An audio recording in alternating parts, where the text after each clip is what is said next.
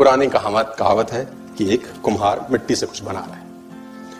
एक कुम्हार मिट्टी से कुछ बना रहा है, उसके हाथ गुथे हुए हैं, मिट्टी उसके हाथों में लेपी हुई है।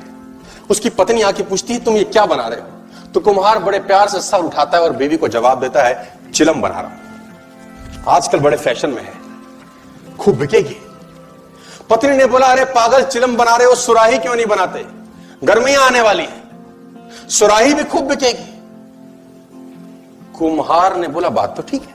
कुमार ने मिट्टी छोड़ दी, दोबारा गूंथना शुरू किया और अब मिट्टी को आकार देना शुरू किया।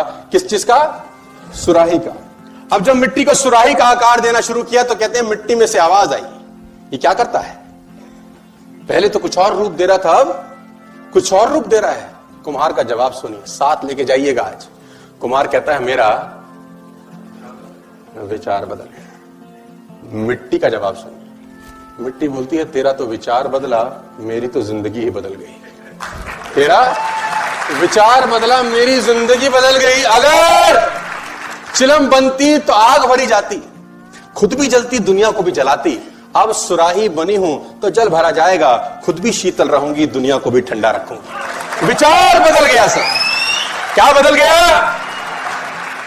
एक विचार आपकी ज़िंदगी में भूचाल ला सकता है। Download Modge.